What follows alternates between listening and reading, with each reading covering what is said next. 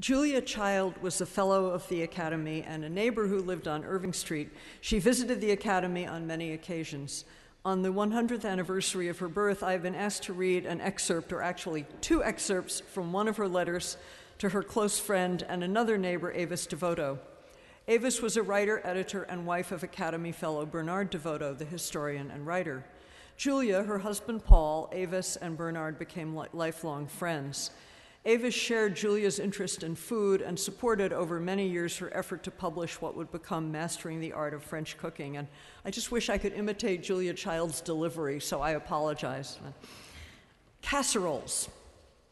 And by the way, the delicious dinner that we, some of us, enjoyed at the Academy was said to be a Julia Child recipe.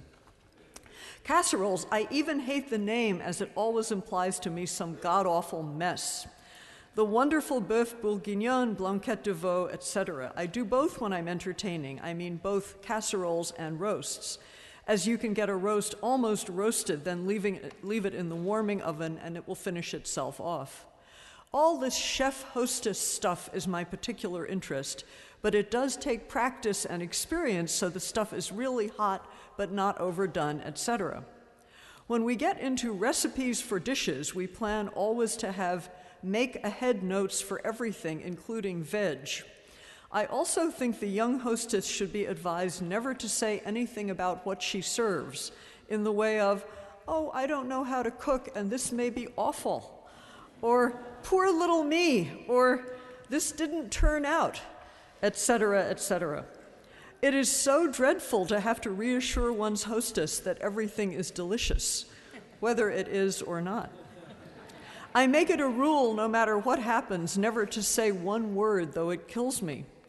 Maybe the cat has fallen in the stew. or I have put the lettuce out the window and it has frozen. Or the meat is not quite done. Grit one's teeth and smile. Wine. Vermouth may be used, but it is pretty strong and has an herbal taste. If wine is not used, especially in the fish sauces, it just won't taste French. The Wine Advisory Board of California has kindly sent us a big bunch of excellent literature giving names and types of wine and say they will be glad to go over our copy if we'd like them to. As for wines not traveling, Paul says a lot of that is nonsense. How would one ever have wines in Paris if they don't travel?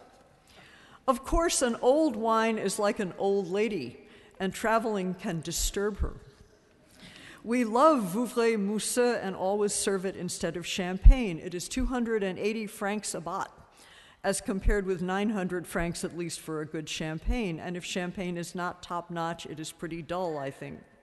Now, if you just come over here, I'm sure we could convince you to like the reds too we ran into a beautiful Bordeaux 1929 that is just perfectly matured and is everything one reads about that a wonderful Bordeaux should be but rarely tastes. It is really something to swoon over that rich, exciting bouquet, that excitement as it fills the mouth with its mellow. I can't go on. I keep thinking of that old cartoon in the New Yorker, a little wine of no pretensions, etc. My God, I never tasted anything like it. Oh, I'm swooning over the typewriter just at the thought. I find I've never really tasted a good wine until I came over here, and now I'm pretty well gone for good. And willingly give up my martini because I can't mix them at all without getting one hell of a hangover. So let me raise a glass to Julia's centennial. Thank you.